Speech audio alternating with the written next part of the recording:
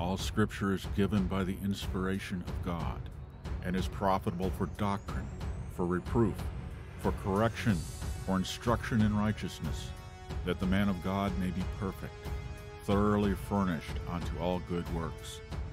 And be not conformed to this world, but be ye transformed by the renewing of your mind, that ye may prove what is the good and acceptable and perfect will of God.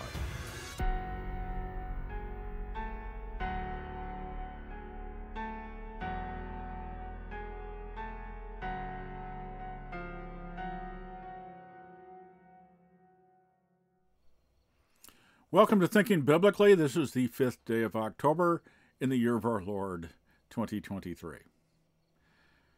And if you watched the previous video, you'll know that something was missing. My glasses.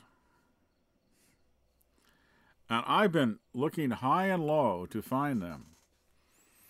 And it, was sort of a distraction even before I did that video. And, and it's like, this, this day's not going good. Uh, and my, my eye is underneath. They put a little makeup on it. It's vividly purple. I didn't want it to be a distraction, but without the glasses, especially, it's uh, evident.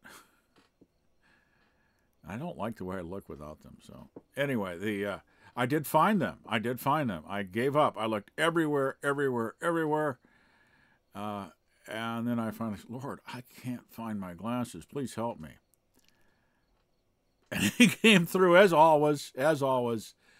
And my mind went back to uh, I'd looked everywhere that, that didn't make any sense at all. And I was thinking, uh, I think I had my glasses on uh, when I got the chicken feed yesterday, and when I had the, the, the slap in the face um, by a, a sauce stand, uh, throwing the, the sack of one of the sacks of uh, feed up in the corner, and I and I'd looked there. I'd looked because I thought it might knock my glasses off. And I was a bit stunned. So, but that came back to my mind after I'd prayed. And I, so I, I'm going to take another look there. And I went there and I pulled the back of bag of feet out and I had a flashlight with me and there they were folded up on the floor. Thank you, Lord Jesus. All honor and glory be to thee. How many times in my life have I I've had similar things happen. Uh, just oh, about two weeks ago, I think. Another example of God's grace in the life of one of His believers. Almost every time I have a battery fail, every time as far back as I can remember now, as far as, as, as a believer, really, that I've had a battery fail, they always fail in the driveway. They fail in the driveway. I go out there, try to start the vehicle, and it doesn't work. I mean, dead bat, not a simply a dead battery, but a defective battery. And that usually happens when the weather starts getting a little cooler, but not always. And I had this happen in my old van, and uh, it was in the driveway where you're not out in the middle of nowhere. You're not someplace where you can't do anything. You're not someplace where you don't have any tools. And of course, we have we have two vehicles, so it was a matter of the next day using my wife's car, going to get going to Walmart, getting another one. These seven-year guarantee batteries they last for four years. I always batteries don't. If if your battery's over four years old, and it, you've got a problem, it's probably the battery, mm-hmm. not just not charged, but it's probably a battery that's too old to be reliable.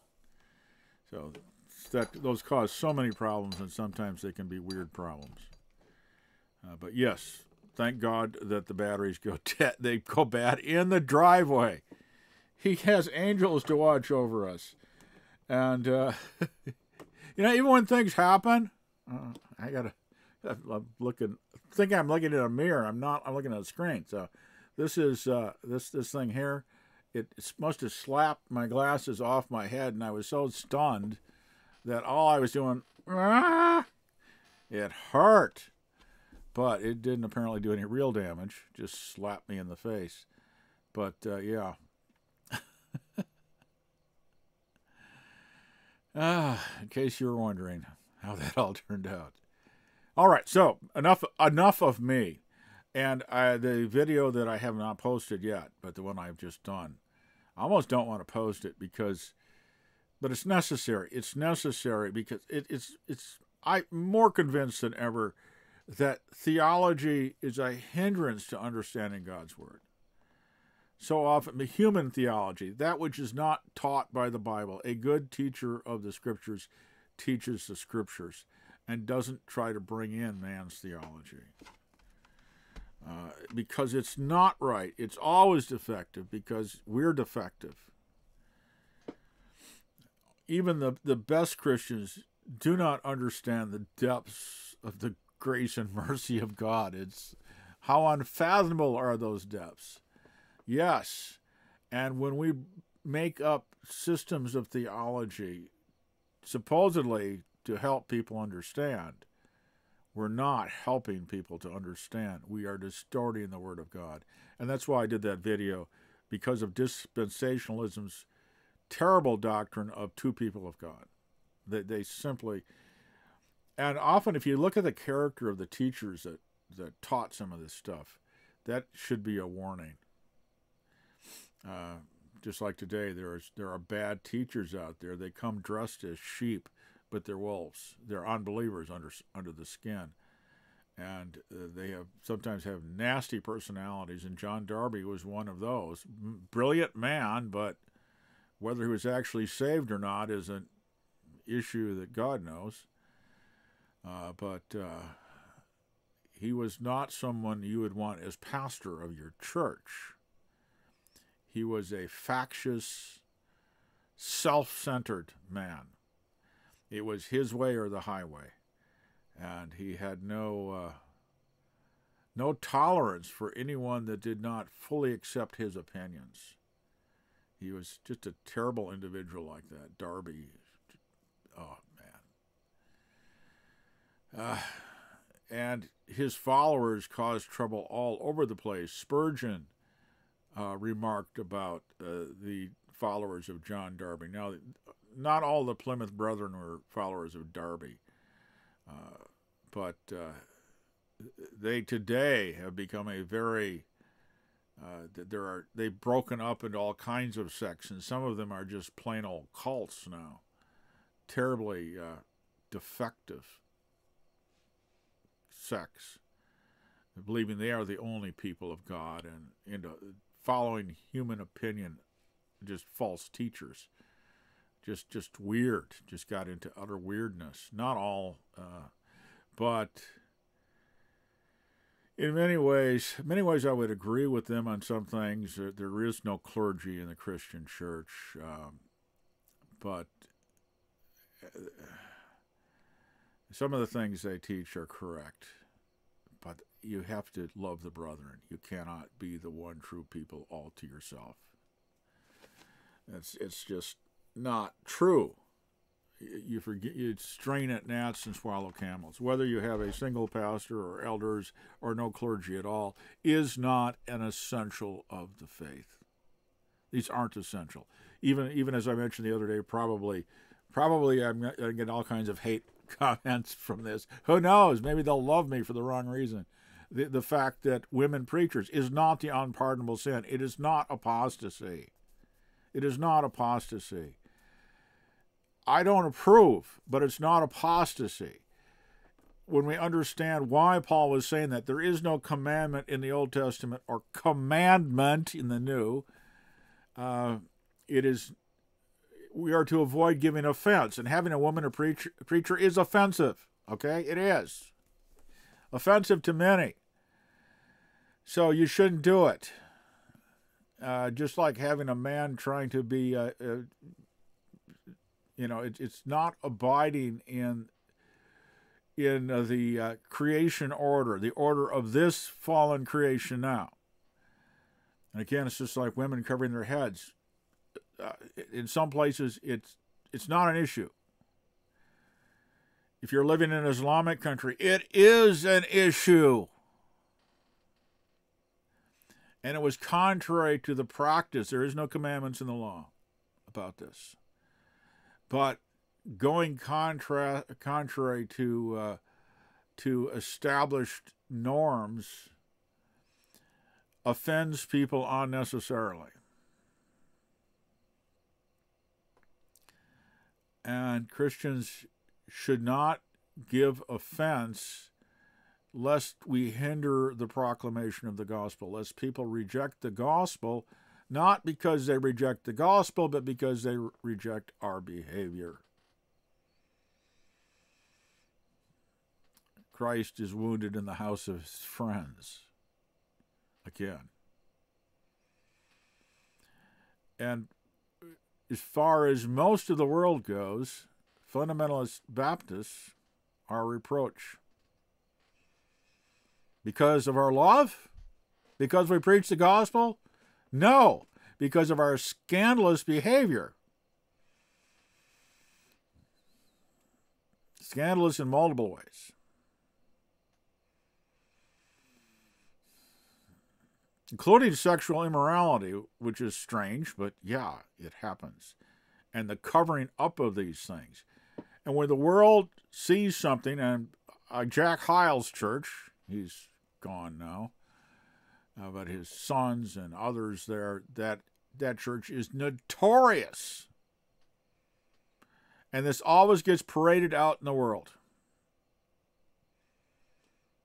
Because that's where Satan wants it. Satan causes it, he works to, to bring these things to pass, and then he uses it as see, all these Christians are frauds, and so is their gospel. That's how he works. He's a liar. But good liars always use facts to bolster their lies. Look at those people. He does see he wants you to look at them rather than look to Christ. God forgive us for you know and covering up some of this stuff. And This is an issue with the local independent fundamental Baptist church, which I don't even know what means anymore because they come in all flavors. This one looks a whole lot more like a Rick Warren church in many ways. The fancy coffee and pastry and the when you come in the door. I mean, fancy, fancy schmancy. And so many churches in this area are doing this kind of stuff. If you think coffee and pastry will bring people to Christ, you are ignorant of the power of the gospel. You are ignorant of what the scripture teaches. We are not supposed to use those kind of methods. If we draw people to church based on the flesh, then we'll have a church filled with people that love the flesh. We must depend on God to draw his people. The Spirit of God must do it. We can't save anyone. Only God can save. And it's it's a shame that we have to waste time on things like that. But that's why I was went into the, the dispensationalism uh, and the the fact that not, it's not the replacement theology of the Reformed covenantal Calvinists and it is not the dispensationalism bifurcated salvation of uh, many of the dispensationalists, where you got Israel and the church being two separate entities.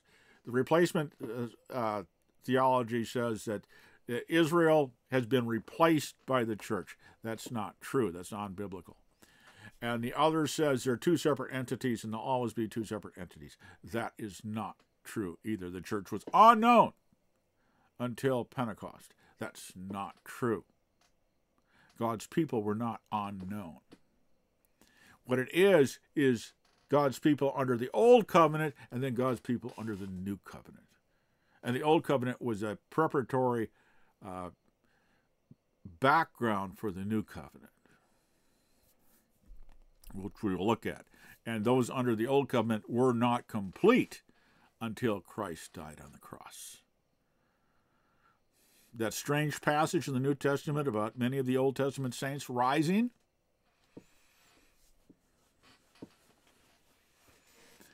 Yes.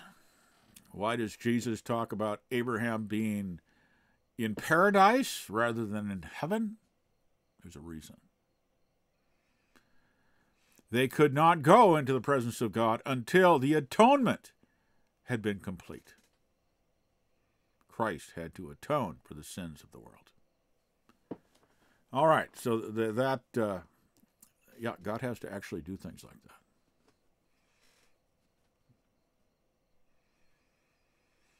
And theologians are often ignorant of the scriptures. They're more focused on theology and their own thoughts than on the scriptures. You don't find theology, uh, you don't find light in the in the minds of men. Like the, the, the, the so-called enlightenment was not enlightenment at all because it was not focused on Christ.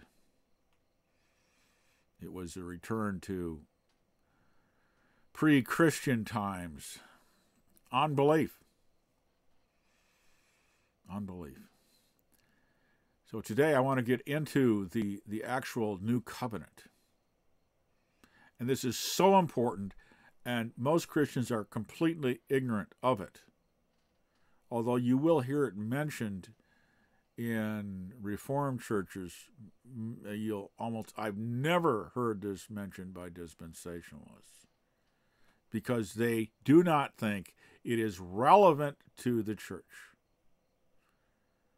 They do not understand the scriptures. It is a system of Bible mutilation. There are distinctives. There's something now uh, called, and I haven't looked at it in detail, New Covenant theology, which is better than the two, than either the Reformed view or Reformed covenant theology, which is not biblical covenants, or uh, dispensationalism. But dispensationalism tends to be moving in that direction too. Uh, there's a complete distinction between the old covenant and the new. They are different kinds of covenant, as the Bible plainly tells us. And dispensationalists don't care about covenants. They're about dispensations. Now, a dispensation is very roughly similar to the idea of covenant, but no, a covenant is is the promises of God. Uh, the old covenant of the law were was first Abraham. Actually, the covenant that was given to Abraham was really part of the new covenant. The promises of the new covenant were given to Abraham the promises of the new covenant were revealed in the in the law and the prophets but they didn't come into force until Christ had made atonement for the sins of the world last supper we'll see that. Jesus says this is the new covenant in my blood the cup of redemption. I believe that probably was uh, in the Passover the there's if I remember right seven cups of wine? Wine? Alcoholic wine? Uh, that would be a little too much, I would say, but I think if I if I had drank seven even small cups of wine, I'd be a little bit tipsy. Uh, I wouldn't want to drink that much wine. I, I don't know the actual thing. Maybe it was how I don't know how they do it exactly. Of course, to, to the the Jewish practice today might not be identical. I don't think some of the things that they do today were part of the of the revealed scripture at all. But uh, anyway, uh, yes, uh, the Jesus was talking about they were celebrating the Passover meal, the Last Supper, and when that's forgotten, you know, when Jesus takes the bread and says, "This is my body," and he takes the wine and says, "This is my blood," It's the Passover. And he is the true Passover. And to do what like Roman Catholicism does, and to a lesser degree, Lutheranism does, and Anglicanism does, takes it the bread and the wine as being the thing itself, rather than than signs of the reality that is Christ. Yeesh. Miss it. They miss it.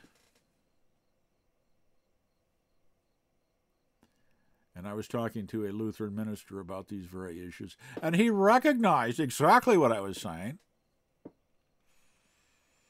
And, and, and I could see on his face, you know, he's, he's like, well, yeah, that's true, but we also believe this other nonsense. He didn't say nonsense, but you know, he was he was struggling a little bit to to defend it because you present people with clear teaching from the scripture. If they're Bible believing, and he's a Bible believing Lutheran, it makes him a little uncomfortable because some of their doctrine just doesn't fit in the scripture well because it's it's a hangover from Romanism. A hangover. Quite that's a good way to put it too. Uh, that, that day you wake up after you drink way too much, and I remember those days. It's like, wow, that wasn't worth it. that I think that's God telling you, excessive alcohol is not my will. Uh, young and stupid, young and foolish. Yeah, but uh, the answer is not prohibition. History tells us that. No, it's not. It is well, it's like Paul said. I, am convinced that in uh, in of itself, all things are good. All things are to be received if if you give thanks for them, just including including alcohol. It's a good thing in the Old Testament. Is a good thing when it's properly used, when it's not misused. As all of God's creation, sin is always the misuse of what God has given us. Is it not? The perversion of what God has given us. And when you solve, try to solve the problem by eliminating the gift of God, like sexuality, the monks, or some people some Christians going so crazy that they even castrated themselves. That's not the answer. the answer to to sexual trans uh, those kind of things is first of all you're supposed to have a wife or a husband. Use it properly according to God's ordained role. Abstinence is not the solution. Proper use is the solution. Abstinence just creates other issues. Proper use of the gifts of God. And people that, that, that try to create their own systems of belief, you know, like Augustine, with, with his monkery, he's the one that, that basically created monastic orders, you know, uh, or was one of the, the Augustinian order. There, there were others before that, but but that that is not the solution. Man's opinions, man's ideas are never the solution. God always has the solution right there in front of you, just like finding my glasses. God knew it. I knew it. Lord, you know where they are. I, I can't find them. Where are they? And he he always comes through. Now I didn't he didn't send an angel who handed them to me, but God led me to it. I don't know exactly what happened behind the scenes, but and I had already looked there, all right? Okay. Now on to the new covenant. The actual new covenant. First of all, in this video, I want to show you the new covenant in the old, in the prophets, the promises of a new covenant. Now, this is explicitly referred to in Hebrews, especially the one that mentions it by name. It's actually revealed uh, quite thoroughly in another section, but it's not called the new covenant there. But these are promises of God. And again, the problem with dispensationalism is it usually treats this, and I've talked to to people, in particular in my local neighborhood, that are very much dispensationalists. And I've asked them about this. I said, Is the new covenant relevant to the church? And the answer is not really, or not directly. And like, really? And this is something that God taught me. It wasn't something I learned from man's theology.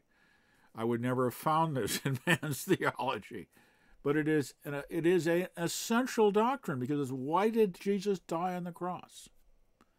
So let's go over to Matthew 26, the Lord's Supper. Of course, uh, Paul uh, gives us the same thing, really. But let's go over to here. Matthew 26, verse 26. And as they were eating, Jesus took bread and blessed and broke it. This is the Passover meal. They're celebrating the Passover. Took the bread of the unleavened bread of the Passover and broke it and gave it to his disciples and said, Take, eat, this is my body. Again, the context. He's taking the bread of the Passover, the Passover lamb, the blood that was put on the doorposts and the lintel. You have to know the Bible to understand these things, or somebody has to explain it to you. That if you don't know the Bible, so the the symbolism here is the, the Passover that was to be repeated, but this is a type of Christ, the Lamb that takes away the sin of the world, the Lamb that, that causes the judgment of God to pass over your house. So he's taking the, bread of the Passover meal, the unleavened, the bread of haste, unleavened because they were supposed they had to cook it quickly because they were leaving. They had to be ready to leave. No time to, to mess around with raise, get the, letting the dough rise and all that stuff. It was called the bread of haste. When Christ returns, we're not going to have time to mess around with, with making dough. Be ready. They had to leave in a hurry the, the exodus of Egypt is a type of Christ and the and the church. Leaving Egypt, leaving the world, entering into the kingdom of God. That's what they were doing. They were leaving the world, Egypt, the paganism and everything else. God was delivering that from them to become his people. his unique people. The church is his unique people today. We are Israel. We are believing Israel. We have been grafted in to the olive tree that is Israel, as I explained in the last video. Or actually, as Paul explains in the last video. We're not a replacement for Israel. We are Israel. We are simply Gentiles by birth, I'm talking about not the not the Jewish believers, but the the uh, most Christians are not of Jewish origin. Gentiles who have been grafted, who have been cut off from a wild olive tree, and grafted into the olive tree of God's people. God has one people called Israel, the Israel of God. The believers, those who trust in Him.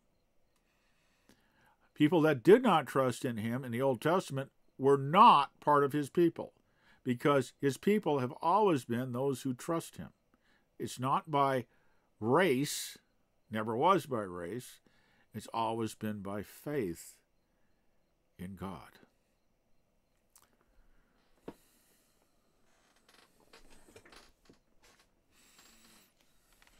You really want to argue with that? If if you if you try to argue with it, I'm thinking there's something wrong with what you believe. There's something wrong with the theology of man you have believed. The church isn't God doesn't have a new people in the church. It's just the church has come into a new covenant that is so fantastically better than the covenant of Moses. That actually deals with the problem of sin, really. It delivers from sin rather than simply condemning you, which is what the law of Moses does. That's not a solution to the problem. That's not a solution to the fall. The new covenant is God's solution to the fall.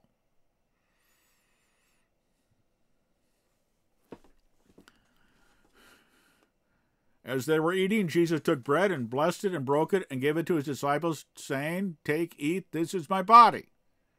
What is he doing? He's saying, I am the Passover. I am the true Passover. I am what the Passover is a symbol of, a shadow of, a type of. I am the Savior of Israel, the Messiah. I am God in flesh, and I'm about to deliver you from the curse. That very day, this is the evening, which is the beginning of the day Jesus was crucified on. Jewish time reckoning.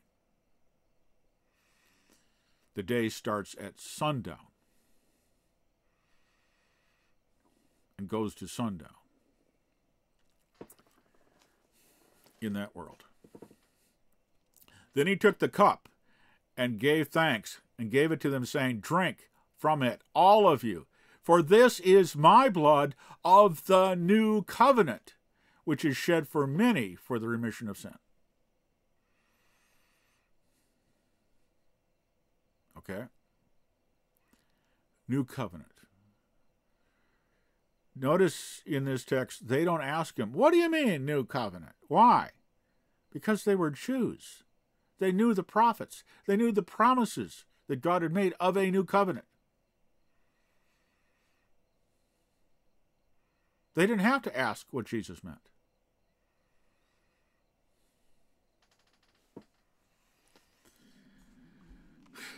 That's why he died on the cross. The blood of the new covenant. The old covenant came into force by blood. The blood of the Lamb.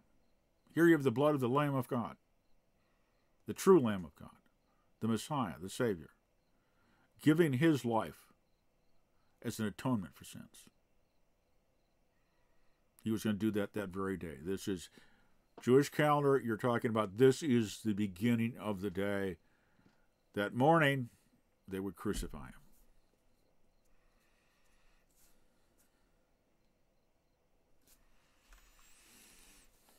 Okay, so let's go to the promise of this in the Old Testament. Now, it occurs in many places but uh, it's explicit in Jeremiah. Now, God talks about a new covenant in many places, but in Jeremiah 31, he spells it out in some detail. What is he talking about? And in Hebrews, and I encourage you to look at Hebrews, I'll probably do a video on that after I do this, uh, the Old Testament promises, where the author of Hebrews goes into that and explains this is a far better, it's a different kind of covenant altogether. It's not like the covenant of the law at all, it's a different kind of covenant. Not just uh, a, a, a, new, as in a, uh, a better, but it is a completely different covenant of its very nature. And I'm going to give you a little hint of what that is. In the Old Covenant, it depends on your obedience to law. The new covenant, uh, what you do. God makes promises if you keep the covenant, if you do certain things, if you obey the commandments of the covenant, if you stay in the covenant, if you circumcise your children, if you do these things, if you if you seek to, it wasn't dependent completely on obedience, but, you do what you you seek to obey the, the covenant. The new covenant is completely different. It has nothing to do with what you do. It promises completely about what God promises to do. And you'll see this.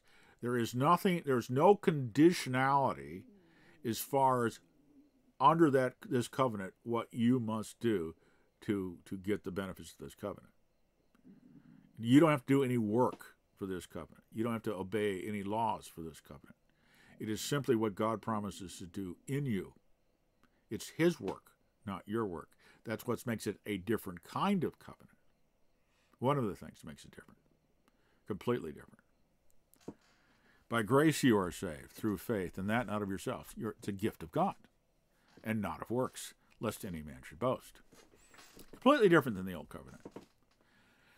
So Jeremiah 31 31 says this Behold, the days are coming, says the Lord, future time now, up to a future time, when I will make a new covenant with the house of Israel and the house of Judah, with his people.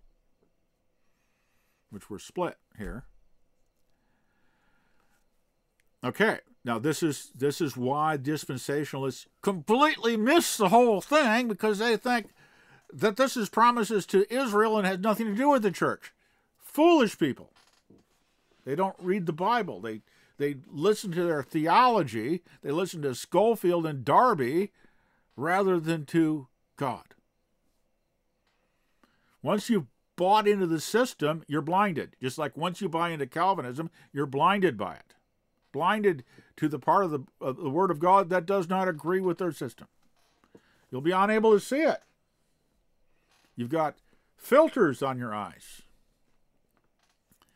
I will make a new covenant with the house of Israel and the house of Judah, not according to the covenant that I made with their fathers in the day which I took them by the hand to lead them out of the land of Egypt, my covenant which they broke, although I was a husband to them, says the Lord.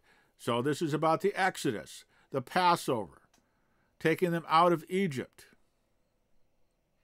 With us, God has taken us out of the world. This is see how closely they're related delivered them from the world, from bondage, into the kingdom of God, His, to become His particular, peculiar people. Peculiar as in different than everyone else. Where is that truly fulfilled? Not under the law of Moses, but under the new covenant, which is the all who are the Israel of God are in the new covenant as they were in the Old Covenant, in the covenant.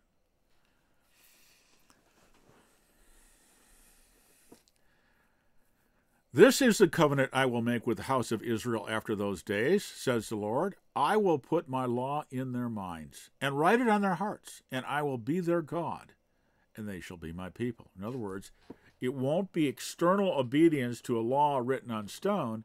It's something that God will write on our hearts. So we desire. See, the old covenant didn't change your heart, it was an external standard you had to conform to. It's not simply what you wanted to do, your desires. So God will make His will the desire of your heart. I will give them the desires of their heart. That doesn't mean what they want. It means I will put my desires in you.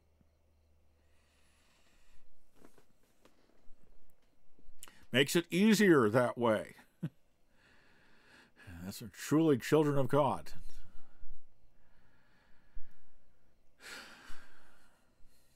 And I will be their God, and they will be my people.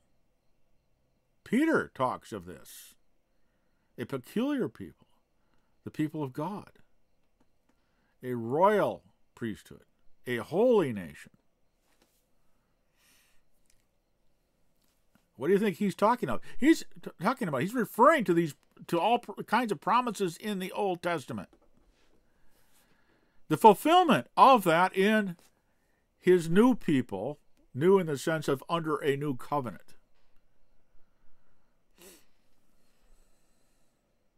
No more shall, shall man teach his neighbor and every man his brother, saying, Know the Lord, for they shall all know me. From the least of them to the greatest of them, says the Lord. New covenant, born again. God is in you. You know him. For I will forgive their iniquity, and their sin I will remember no more. Only under the new covenant is that true. Only after Christ is that true. The laws, the sacrifices in the Old Covenant never took away sin, and they certainly never took away deliberate sin. It was only sins committed in ignorance. In other words, you didn't know what the law said, and you broke it. They did not cover willful sin. The new covenant does.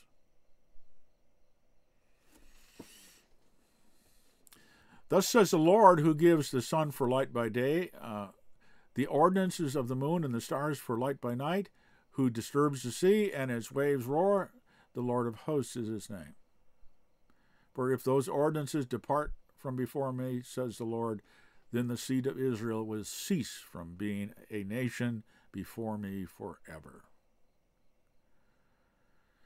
Thus says the Lord, if heaven above can be measured and the foundations of the earth searched out, searched out, so also shall all the seed of Israel for all they have done, says the Lord. I will cast off all the seed of Israel for all they have done, says the Lord.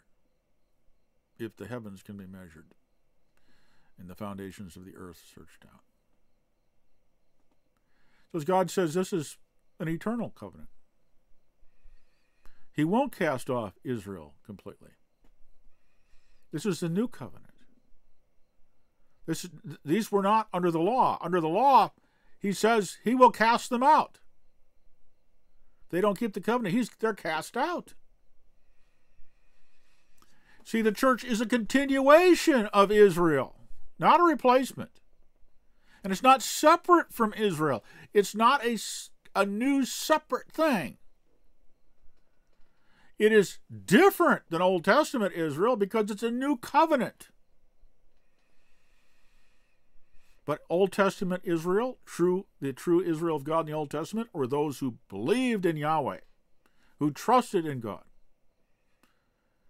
Same in the New Testament. Believers, not unbelievers. Except the circumcision now is the circumcision of your heart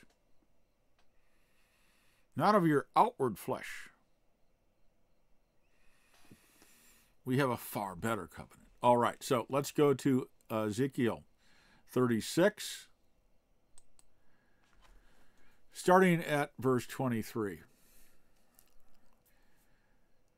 And I will sanctify my great name, which has been profaned among the nations. Profaned by who? Partially by Israel by their behavior, which you profaned in their midst. Israel profaned in the midst, profaned the name of God. And the nation shall know that I am the Lord, says the Lord God, when I am hallowed in you before their eyes. For I will take you from among the nations. What did Jesus what's the Great Commission? Go into all the world, make disciples out of all nations. Take people out of all nations, make them my disciples. I will take you from among the nations and gather you out of all countries. This is not the Jews, not just the Jews, but people from all nations. And will bring you into your own land. What's our own land? The kingdom of God. This is what this is really talking about. I will sprinkle clean water on you. Uh, talking about the old covenant, the, the sprinkling to make things holy. Not talking about water baptism sprinkling here. And you shall be clean. See, this is God's, of course, he's speaking to a people that, that are not spiritual people and you shall be clean. Who, who's doing the work here? Just like in Jeremiah 31. Who is doing the work? I will take you out from the nations and gather you and bring you into your own land. And I will sprinkle clean water on you, and you shall be clean. Real cleansing. And I will cleanse you from all your filthiness and from all your idols. Who? Who will do it? God does it. Did he do this in the Old Testament? No, he did not. I will give you a new heart and put a new spirit within you. Where does that happen? In the new covenant, the new birth. That's what Jesus is talking about in John chapter 3. You must be born again. You must be born of the Spirit, or you must be born from above, which is the actual little, little uh, literal rendering of that from above. You must be born of God begotten by God. And I will cleanse you from all your filthiness and from all your idols, and I will give you a new heart and put a new spirit within you, and I will take the old, the heart of stone out of your flesh. The hard, self centered heart. It's like stone, dead to God. And give you a heart of flesh, soft, warm, alive. Not talking about flesh in the bad way, but but a heart of a living heart that's soft toward God instead of hard. Soft toward others, not self-centered anymore. A new heart. And I will put my spirit in you. See, this is this is this is the proof right here that this is the new covenant. This is what came at Pentecost. The pouring out of the Holy Spirit. Not just upon us or among us, but in us. And every believer, every born again Christian, has the Holy Spirit dwelling in you. I will put my spirit within you. My spirit. I will put my spirit within you and cause you to walk in my statutes, and you will keep my judgments and do them. Then you will dwell in the land that I gave to your fathers. Now, the scripture tells us that Abraham sought for a city whose builder was God. Not referring to a simple area of land in the Middle East, a city whose builder is God. Who is the builder of the kingdom of God? Who is the builder, the architect of the church? See, the New Testament, uh, Stephen, in his trial, refers to the church in the wilderness. See, again, it's a continuation of the people of God, first under an old covenant and then under Christ, under the new covenant. It's not a replacement, it's not a separate entity. The Reformed covenantal theology is wrong, and dispensationalism is wrong. These are major issues, too. This is not a minor thing. This affects how we understand the church, how we understand Israel, how we understand God's promises, how we understand Scripture. The land that I gave to your fathers, the promises to Abraham. For a real land, like I said, the scripture says he was seeking a, a city built by God not an earthly paradise, a city built by God that has foundations.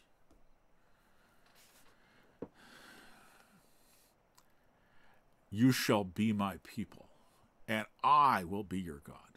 That is fulfilled today among us.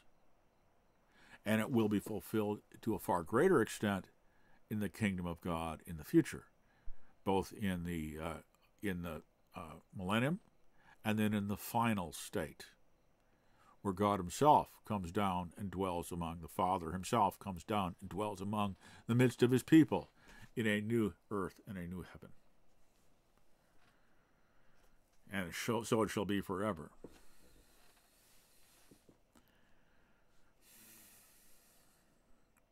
Oh, I should. I don't know if I should actually say final state or not. No, well, yes, but during that time, during that ongoing time, it's not timeless. Not timeless. God, the scripture says God has uh, that that we cannot even contemplate, even imagine the things that God has prepared for us in the ages, plural, to come. Ages.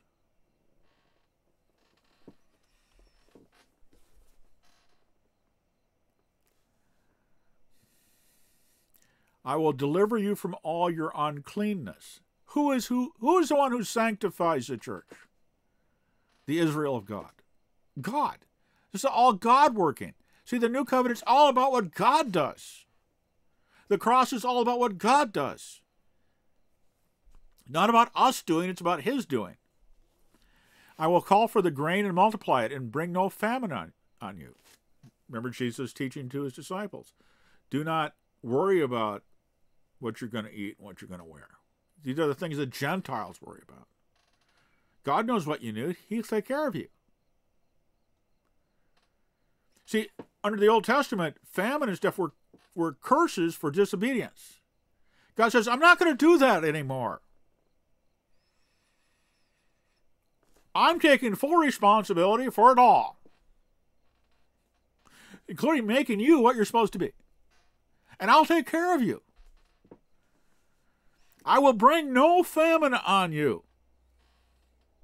Even in the Old Testament, David said, I've never seen the righteous forsaken, nor their children begging bread on the, in the streets. Neither have I. I've spent a lot of time working with the homeless. I've never seen the righteous forsaken or their children children begging bread on, bread on the streets. You don't find God's people among them unless they're among them to proclaim the gospel to them. And going out into the world trying to fix the world and solve the problems of homelessness is a fool's errand. You need to proclaim the gospel to these people. God will save them, and then God will take care of them. What they need is someone who is able and willing to transform them from the inside out. Everything else is a waste of time. You will not change them or their circumstances. And that is true about everyone.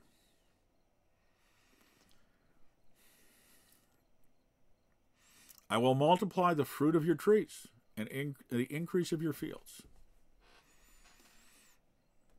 Take this a little spiritually.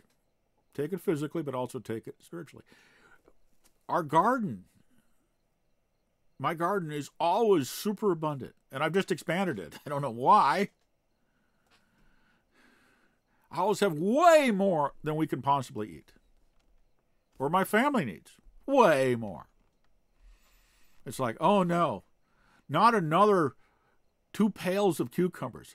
Oh no, not all those. Oh, I got so much to can. what are we going to do with it? More than I can possibly do. Why would I do it? It would it just go to waste.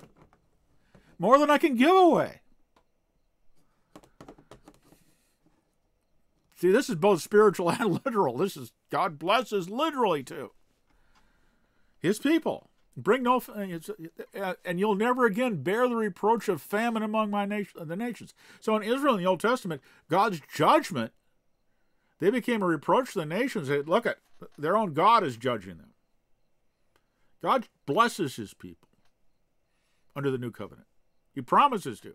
These are promises of God, brothers and sisters. If you don't know the promises of God, you can't walk in faith of those promises. You don't know what's been promised to you. And you'll fall victim to charlatans like Joel Osteen,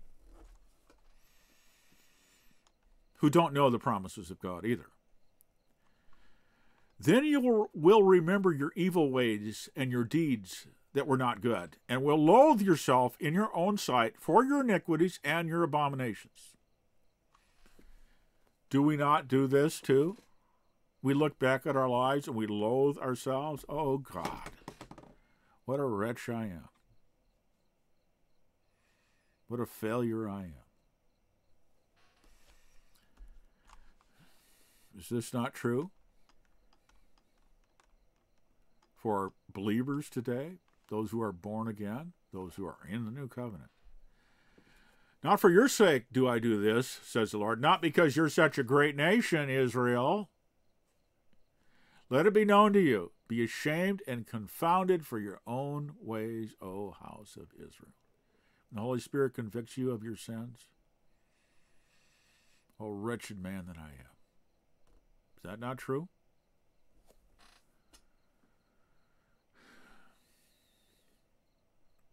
Thus says the Lord God, on the day that I cleanse you from all your iniquities, I will also enable you to dwell in the cities, and the ruins shall be rebuilt. The desolate land shall be tilled instead of being lying desolate in the sight of all who pass by. Again, there's there's a a, a literal thing that will come to pay, pass when Christ returns too, uh, and gathers uh, many more of the physical descendants of Abraham, Isaac, and Jacob to himself. When they see him, they will weep and mourn as for a long lost son when he returns visibly with us and they, and they will know, oh, those darn Gentiles were right all the time. Yeah, Oh, yeah.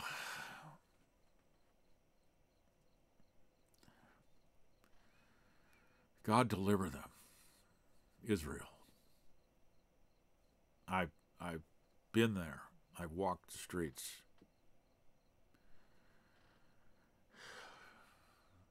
Spiritual death. Israel, unbelieving Israel, is spiritually dead. They do not know God. They are as dead as any people on earth. Twice so, because they have God's revelation. And they reject it, distort it, twist it.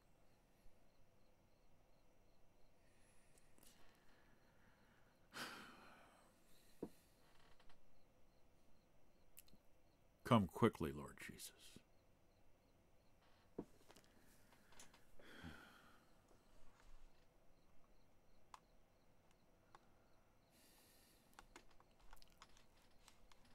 Anyway, those those are where the uh, the promises of the new covenant are most clearly and extensively given in the old.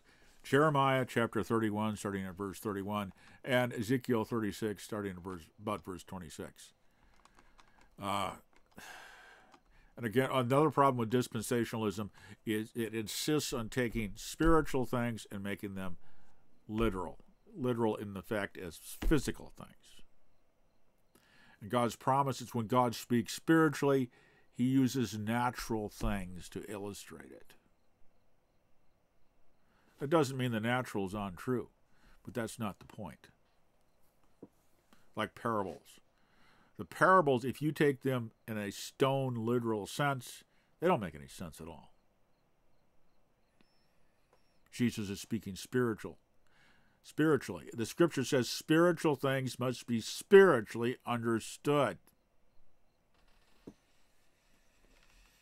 And dispensationalism tends to not do that, whereas Reformed theology tends to spiritualize everything.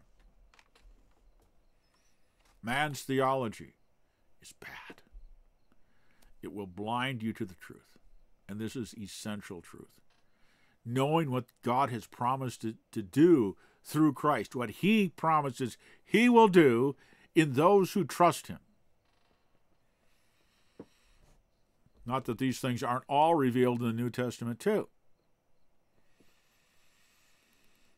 But just twisting God's revelation as this, these systems of theology and interpretation do, do not help you to understand the truth of God and his promises, the promises of the gospel, the promises of salvation, the salvation that is in Christ. For today, not just for some time, in the great by and by. No, today, God promises to do these things among his people.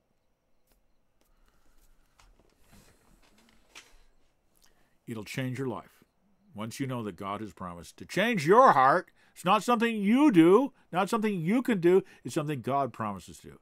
Then you live by faith in his promises. God, change my heart. Deliver me from this. Make me what you have want me to be as you have promised to do so. For you will not break your promises. So you can go to God in faith and boldly become come before the throne of grace, grasping on these promises and saying, God, you promised to do it. I want to see it in me. You understand how important that is? Boldly, not humbly. Oh God, if it is, I, this is the will of God. And if you say, "Oh, if you're if you're willing," God says He's willing. You're not believing him. You got to come in faith in the sure and certain revealed promises of God under the new covenant. Do you understand? It will change your life. You won't have a wimpy Christian life struggling with sin and all this stuff, trying to make yourself acceptable to God. You'll know it's His responsibility. Grab hold of God and say, I will not let you go until you do what you promised.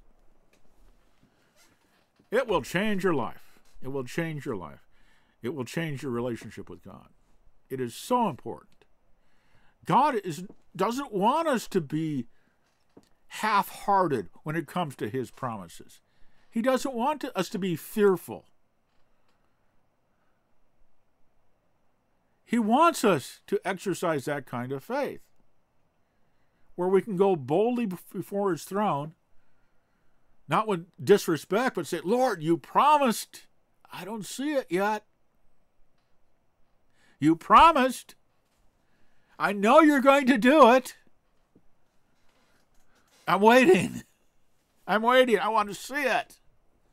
I want to see it in my life. He'll do it. He'll do it. He wants to see that faith. He wants you to be bold in what he has promised that are clearly God's will, not carnal desires, but clearly God's will as revealed in the Old Testament and the New. More clearly in the New. Okay? We will continue on. We'll go on next to the book of Hebrews and see what the New Testament says about the new covenant and how it is a much better covenant. It should be obvious to everyone by now.